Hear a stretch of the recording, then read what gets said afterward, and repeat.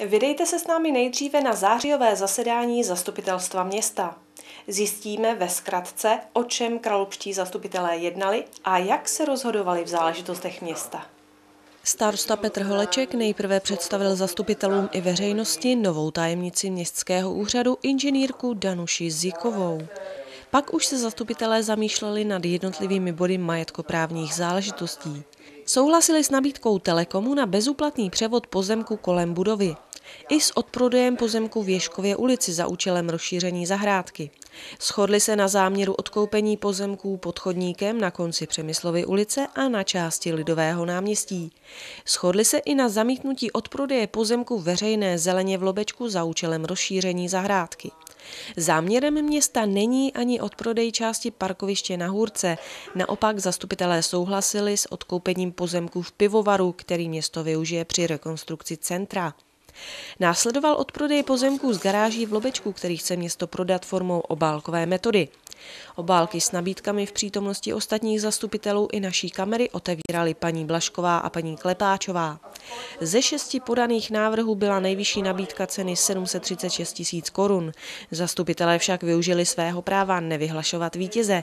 Nabídnutá nejvyšší cena za stavební parcelu se jim zdála nízká. Rozhodli se znovu vypsat nabídku na odprodej parcely a to za minimální cenu 750 tisíc korun. Stále také trvá nabídka na odkoupení domu na Poláčku a ve Vrchlického ulici 611.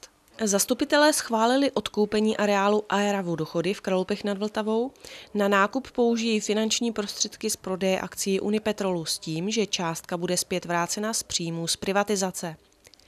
Prostor věnovaný připomínkám občanů využila nejprve paní Střesková. Chtěla vědět, proč byl zrušen kiosek na zimním stadionu a zda by se tento stánkový prodej nemohl obnovit. Uvedla argumenty, proč by se měl kiosek u velké ledové plochy obnovit.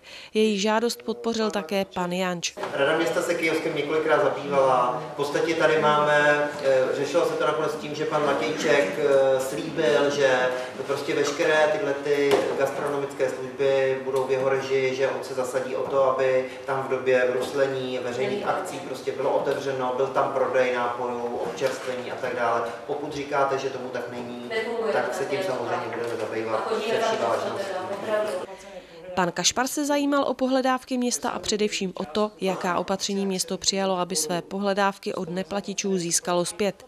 Odpověděla mu paní Adámková, vedoucí finančního odboru. Vymáhání pohledávek bylo zpřísněno, neplatiči budou upozorněni na tvrdší postup. Pokud nezareagují, tak je čeká exekuce.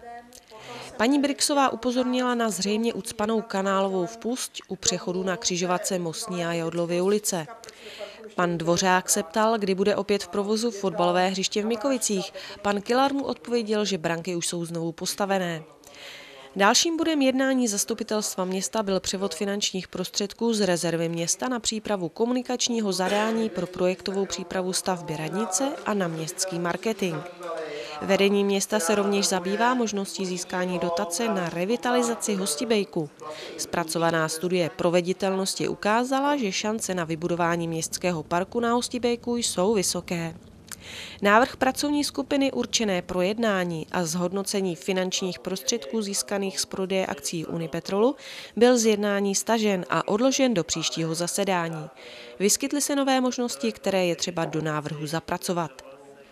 V prostoru věnovaném připomínkám zastupitelů se pan Lesák dotazoval, proč byly odstraněny ostrůvky z hlavní silnice a zda se tam budou vracet. K jejich odstranění došlo kvůli plánovaným opravám Mostní ulice.